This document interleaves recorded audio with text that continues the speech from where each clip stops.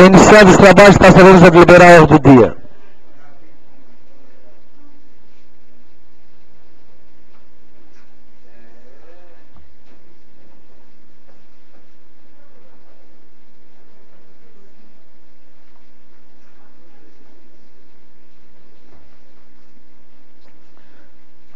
Projeto de Lei número 39 de 2013 autoriza a abertura do decreto adicional suplementar na Lei Orçamentária Anual de 2013.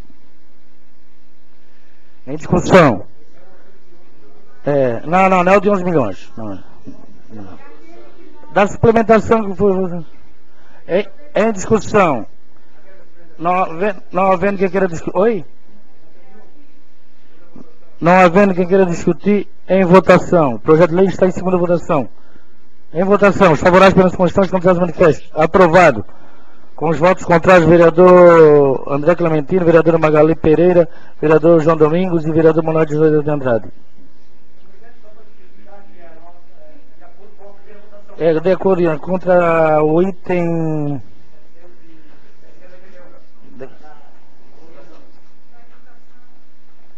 O item é, 2027.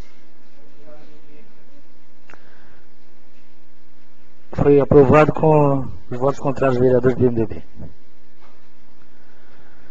Projeto de lei número 36 de 2013 revoga a lei número 3130 de 31 de outubro de 2011, que autoriza edificar um monumento em homenagem à Bíblia Sagrada.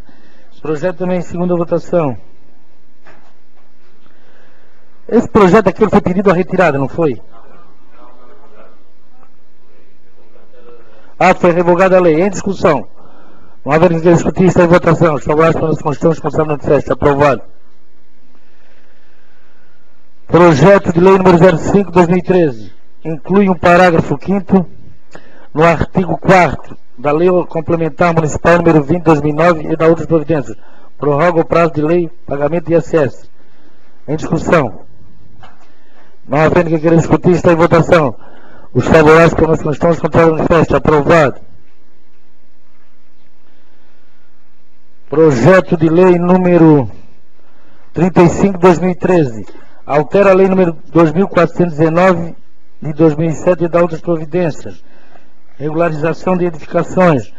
Esse projeto de lei recebeu uma emenda corretiva. Emenda corretiva ao projeto de lei número 030, 035 de 2013 de origem do Poder Executivo, onde se lê artigo 1 altera o caput do artigo 1 da lei 2719-2007, que passa a vigorar com a seguinte redação, com a seguinte redação. Leia-se. Artigo 1 altera o caput do artigo 1 da lei número 2419, que passa a vigorar com a seguinte redação.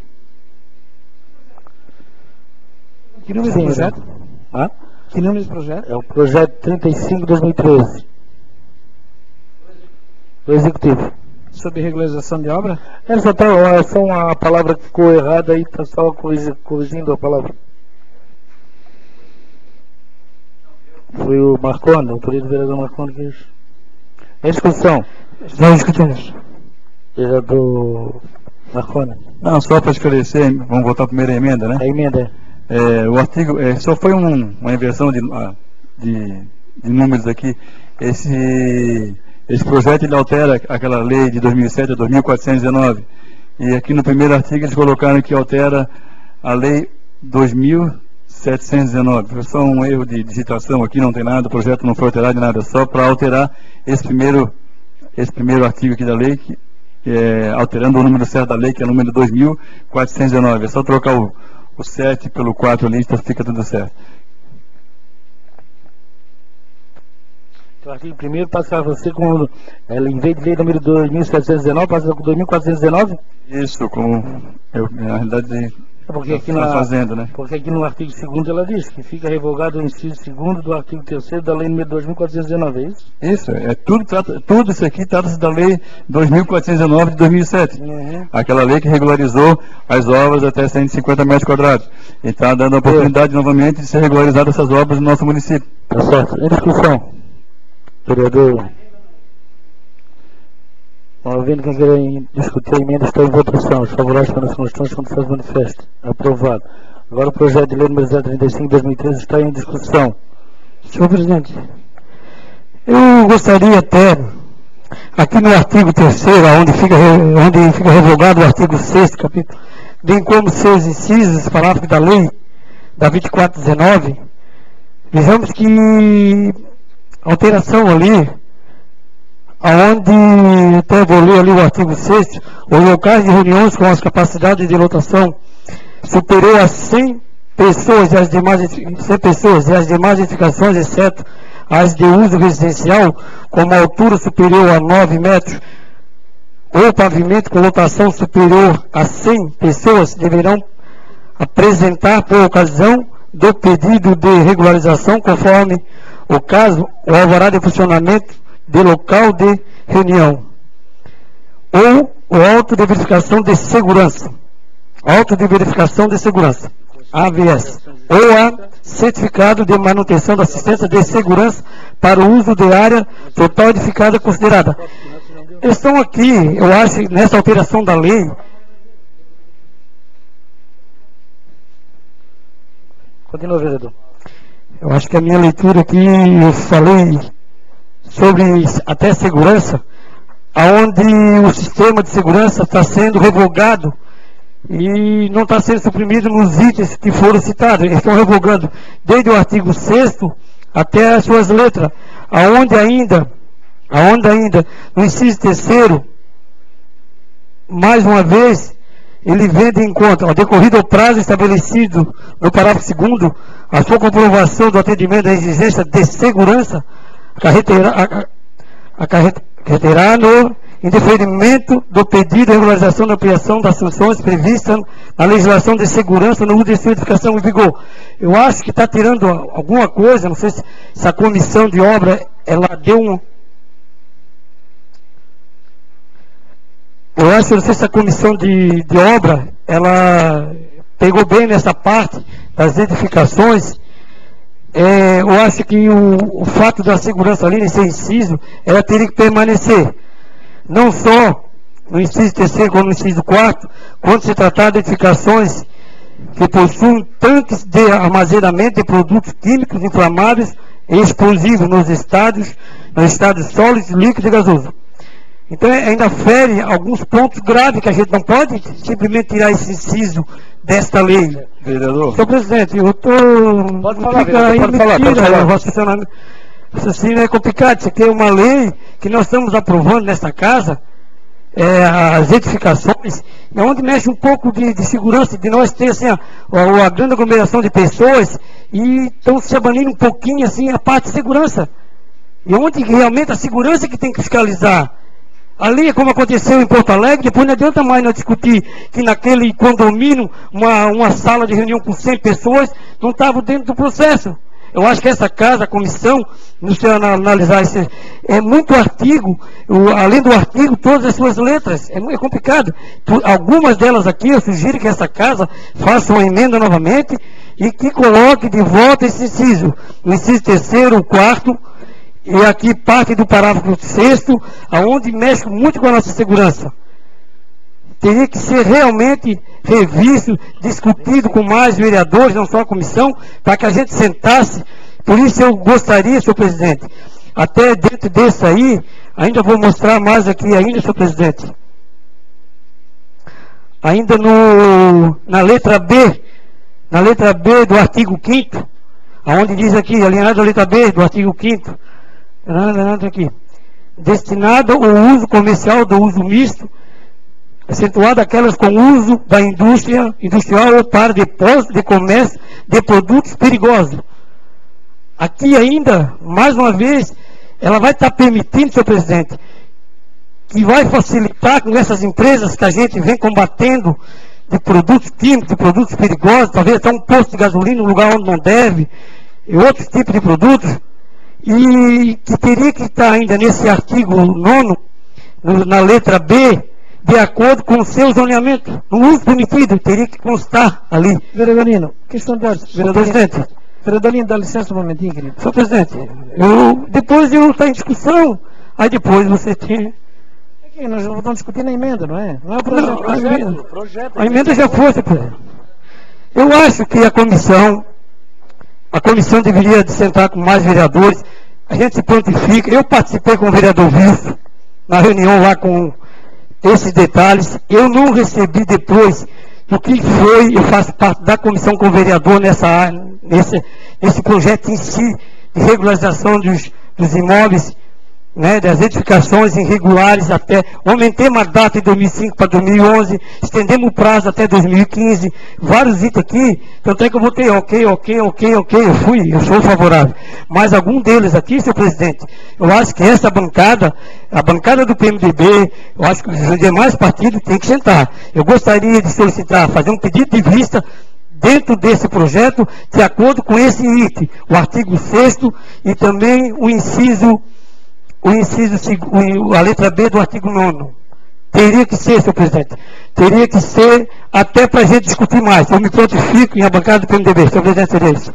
Presidente, o, vereador, o vereador João Domingos já pediu vista. Pois é, mas eu só queria uma questão de ordem para dizer, Vossa Excelência, o seguinte, que quando há um questionamento de forma bastante intensa, como fez o vereador Lino, eu acho que a gente tem que atender o pedido.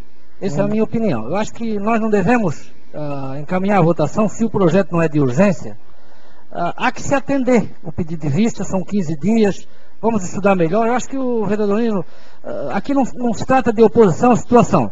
Nós precisamos votar o projeto quando tivermos todos esclarecidos. Então eu, eu acho que a nossa bancada deveria concordar com o pedido de vista. Pedido de vista do vereador João Domingos Zima está em votação. Os favoráveis permanecem como estão, os contrários permanecem. Uh, favoráveis permanecem como estão, os contrários manifestam. Aprovado o pedido de vista. Senhor presidente, questão de ordem. Eu também queria fazer uma sugestão, está aprovado. Eu acho que, só quando nós temos um prazo regimental de 15 dias, eu acho que nós temos também adiantar que esse projeto está em, em, em tramitação desde 2009, final de 2009. É de grande importância. Eu queria pedir a compreensão do vereador Nino que a gente se reúne essa semana, o mais tarde, sabe por quê, vereador Nino? É se nós deixarmos para a semana que vem, para a semana que vem, isso faz dois anos. Nós temos a lei do Simples Nacional e das MEI, se essa lei não tiver aprovada e os nossos é, empresários de Biguaçu não entrar com as regularizações e não entrarem, a maioria vão perder a qualidade de Simples Nacional, que vai trazer um grande prejuízo para o município de Biguaçu e para os empresários. Então eu pediria ao vereador Nino, que pediu de vista, é, que a gente realmente marque um dia, que possamos a discutir e já aproveitando a oportunidade também, convidar todos os presidentes das comissões para que nesse dia que a gente vai discutir esse projeto, que logo em seguida também a gente já se reúna para fazer os pareceres dos outros projetos que a gente não se reuniu ainda nesse mês de agosto. Eu pediria, pedir encarecidamente aos presidentes que, que, de, de comissões, né, e também que a gente já decida o mais rápido possível para, a, o pedido de vista do vereador Nino, que discuta, que eu acho que é coisa simples também de resolver, já que fala em segurança, acho que não tem muito que discutir, tem que se acatar. Né? Então, essa é a, a minha sugestão. Obrigado.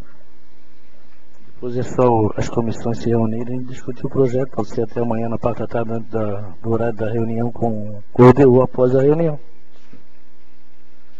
Projeto de Lei número 60 de 2013. Autor, vereador Wilson Alberto Alves.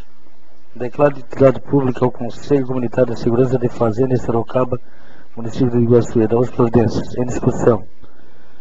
Não havendo que queira discutir, em votação, os favoráveis para as moções, contrários manifesto. É aprovado. Projeto de Lei número 53 de 2013. Autor vereador Marconi Kirsch. Dispõe sobre a regulamentação do atendimento prioritário ao idoso no município de Biguaçu e da outras providências. Em discussão. Não havendo que queira discutir. Vereador, ah, sim, desculpe, vereador Marconi. Presidente, é, só para salientar, né, meus nobres colegas, é, na verdade já existe o Estatuto do Idoso, né, que regulamenta é, o atendimento prioritário ao idoso a partir de 60 anos de idade, mas o nosso, o nosso a nossa lei orgânica, no seu artigo 35, ela diz: cabe à Câmara ou com sanção do prefeito dispor sobre todas as matérias de competência do município e, especialmente, legislar sobre assuntos de interesse local, inclusive suplementando a legislação federal e estadual.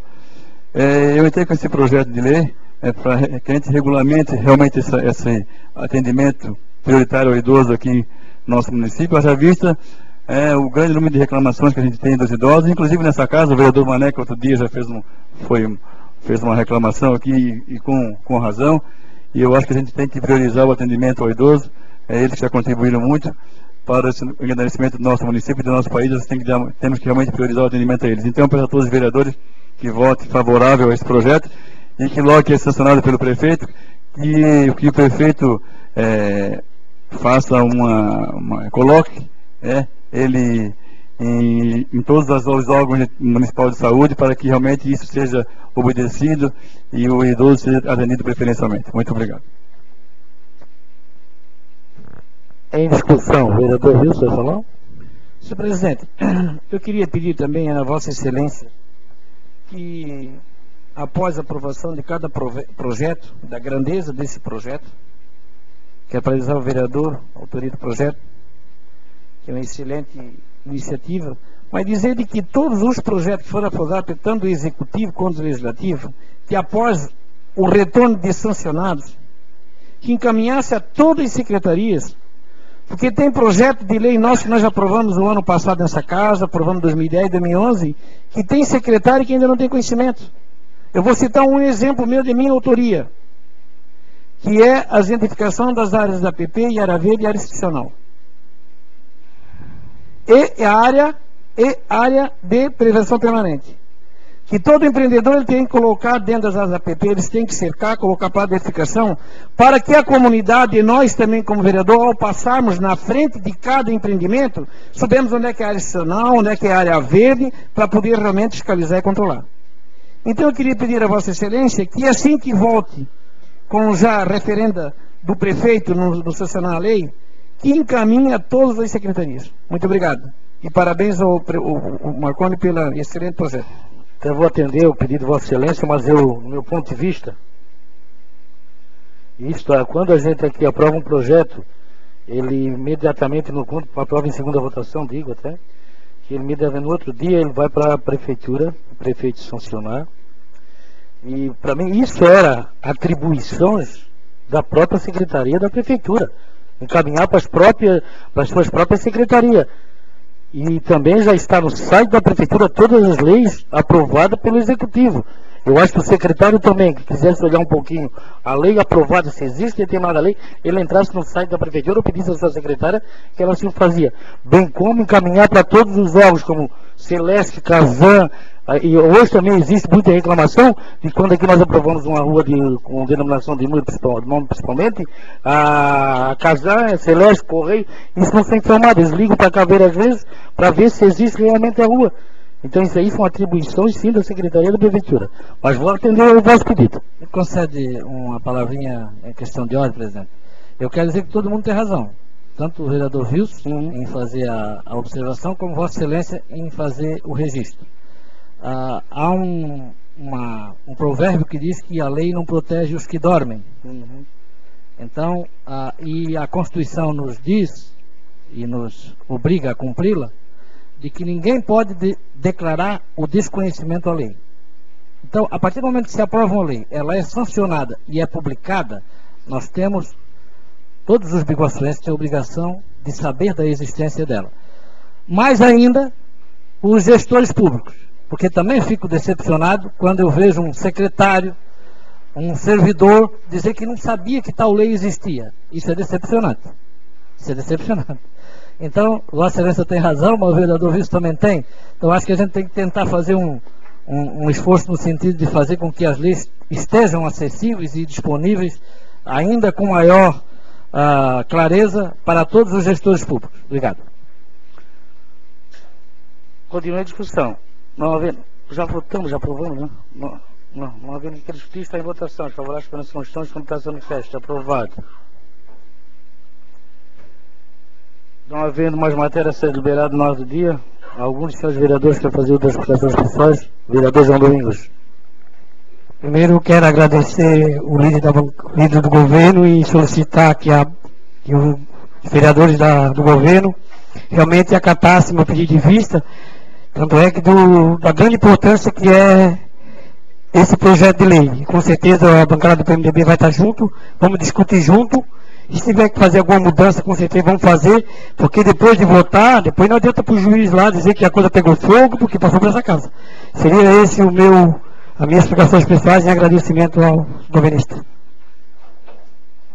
Mais algum dos nove vereadores? Só o vereador Anjo. Eu queria também parabenizar o projeto do vereador Marconi. Parabéns, já é para ser assim desde os inícios dos tempos, mas às vezes tem que ser colocado em prática mesmo. Parabéns pelo grande projeto. Também parabenizar o Fernando pela iniciativa na Praça de Bigo Sul das Pessoas Desaparecidas. Isso seja feito Florianópolis e, e, e tem tido um resultado surpreendente, tá? Parabéns pela iniciativa e também agradecer a todos os vereadores eu me sinto muito, muito contente e feliz em fazer parte dessa casa pelo apoio que os senhores deram aí nessa situação que eu pedi. Obrigado.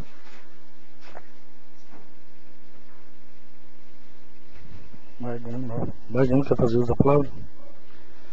Então, não havendo mais vereador que queira fazer uso da palavra, eu só queria comunicar aos nossos vereadores que aqueles que desejam fazer o quadro da Câmara, os vereadores que compareçam na, no Cine Foto Simone, Está faltando alguns vereadores lá que para nós podermos concretizar o quadro.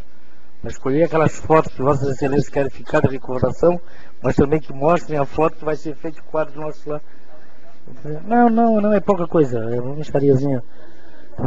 Pelo que, já foi pago por nós aqui em outras legislaturas, eu acho que isso aí é de graça. Ah?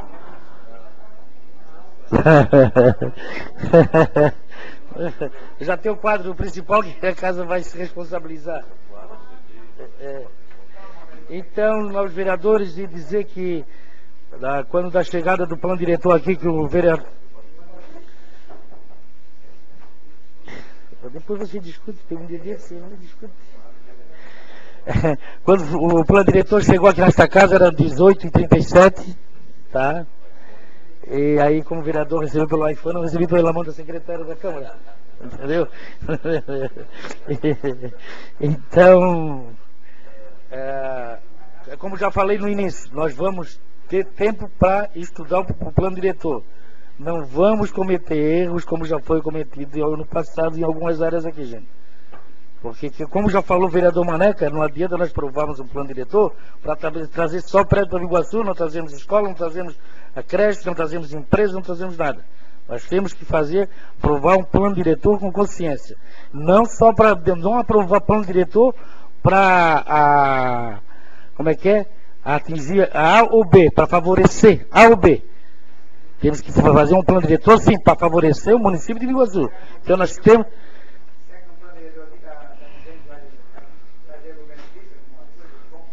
Nós temos que estudar, vereador. Então, é só que eu digo para vocês, vamos ter tempo para colocar, porque nós, eu, eu, dá licença, vereador, dá, licença, digo. Eu digo para você, para Vossa Excelência, porque nós temos que estudar bem um plano diretor, gente. Porque o futuro da cidade está na passagem já por esse plano diretor. Futuramente vai ser mexido? Vai. Vai ter que ser, mas nós temos que prestar bem atenção. Porque chega de nós estar sendo taxados para fazer um plano diretor meio errado no passado. Né? Então, já peço a Vossa Excelência, nós temos tempo para estudar. Não adianta dizer que vamos aprovar em regime de urgência ou toque de caixa, que isso ainda vai acontecer. Eu proponho até nós contratarmos uma pessoa para que nos oriente melhor nesse plano diretor. Só isso que eu tinha a dizer, a dizer para Vossas Excelências. É, matéria a ser no dia 28 de 2013. Projeto de lei número 53 de 2013 do Legislativo em segunda votação. E projeto de lei número 35 de 2013 do Executivo em segunda votação. Eu quero agradecer a presença de todos, agradecer aos vereadores convocados para a próxima sessão no dia 28 de 2013, às 18 horas. Obrigado e boa noite a todos. Amanhã às 14h30, reunião com, não, com a comissão do plano diretor aqui nesta casa.